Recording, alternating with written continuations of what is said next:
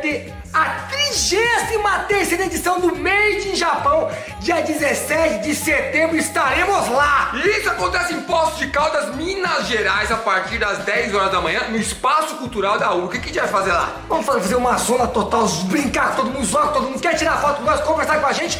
Marca a data, 17 de setembro, Made in Japão. Corre lá que nós já garantimos a nossa presença. Estaremos lá. Made in Japan. Made in Japan.